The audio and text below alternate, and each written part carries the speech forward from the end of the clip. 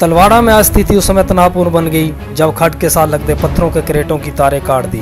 बताया जा रहा है कि लोगों ने यह कदम इसलिए उठाया था क्योंकि तलवाड़ा के मोहल्ला सांडपुर में कई दिनों से भारी बारिश के चलते पानी आने से हुए नुकसान के कारण अपना बचाव करने के लिए प्रशासन से मांग की थी, लेकिन कोई सुनवाई ना होते देख कुछ लोगों ने यह कदम उठाया। स्थानीय लोगों का कहना है कि अगर अब दोबारा पानी आए तो खड का ये पानी राधा स्वामी सत्संग हाल को फांद कर सीधा बाज़ार का रुख करेगा, जिससे पूरे बाज़ार में पानी पानी होने से कोई नहीं रोक सकता।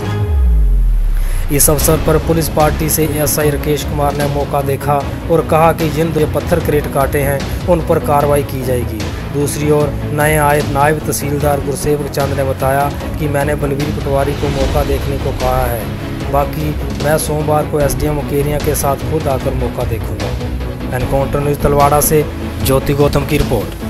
ਰੈਵਨਿਊ ਰਿਕਾਰਡ ਦੇਖਿਆ ਜਾਏ ਜਿਹੜਾ ਪਾਣੀ ਦਾ ਬਹਾਅ ਜਿੱਥੇ ਹੈ ਉੱਥੇ ਬਹਾਲ ਕੀਤਾ ਜਾਏ ਨਾ ਕਿ ਲੋਕਾਂ ਦੀਆਂ ਆਬਾਦੀਆਂ ਰੋੜ ਕੇ ਸੀਨਾ ਜ਼ੋਰੀ ਨਾਲ ਪਾਣੀ ਨੂੰ ਇੱਕ ਪਾਸੇ ਕੀਤਾ ਜਾਏ ਬਸ